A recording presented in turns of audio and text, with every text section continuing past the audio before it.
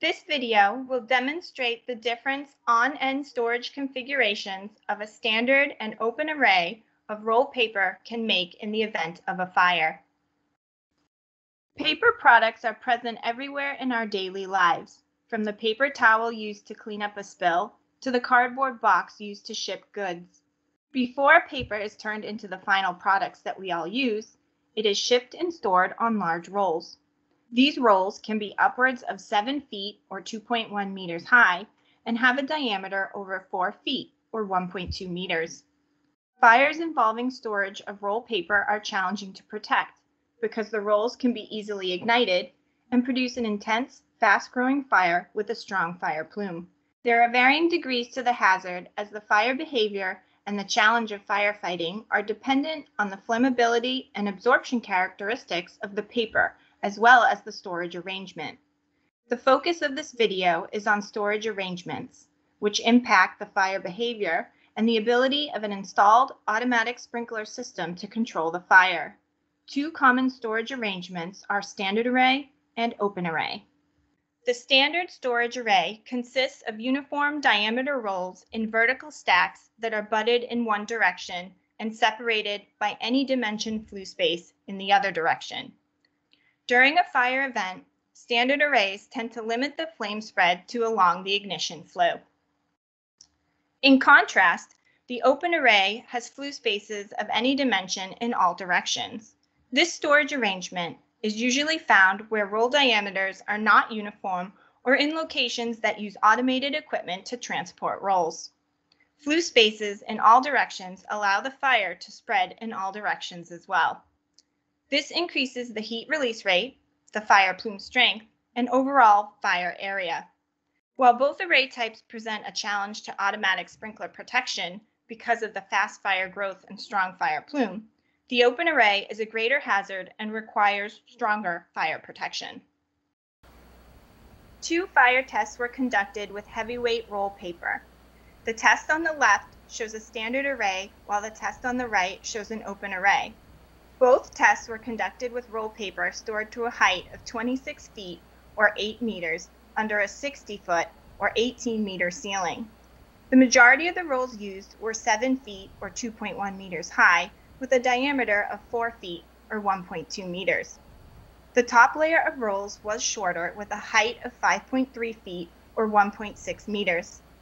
The same sprinkler protection was used for both tests. However, the discharge pressure provided over the standard array was 10 psi or 0.7 bar less than that provided by the protection over the open array.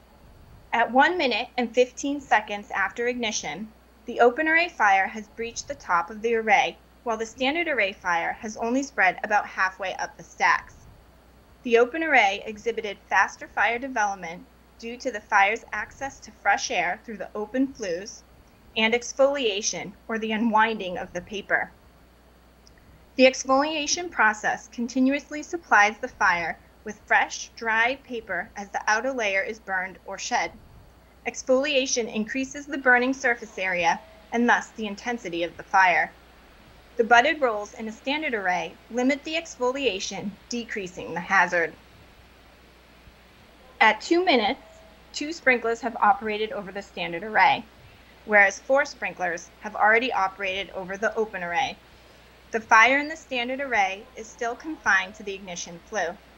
The open array fire, even with more sprinklers operating, has spread to adjacent flues and covers a much greater area than the fire in the standard array.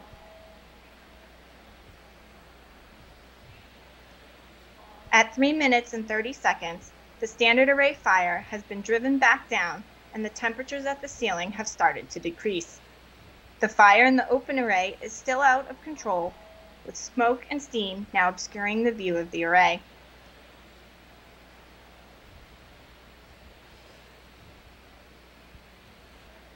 At 6 minutes and 45 seconds, the open array test remains out of control and was terminated just after 7 minutes with 34 sprinklers operating.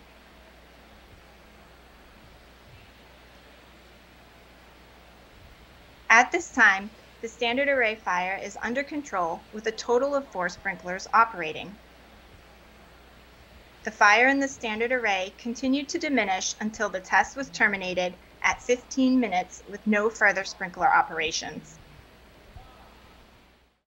In the fire test shown, the fire in the standard array was controlled by four sprinklers, while the fire in the open array remained uncontrolled with 34 sprinklers operating.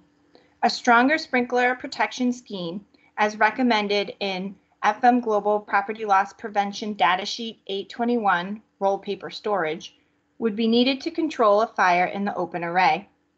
Roll paper stored on end exhibits rapid fire growth along continuous flue spaces, and the storage arrangement used can impact the fire spread, and thus the fire protection requirements.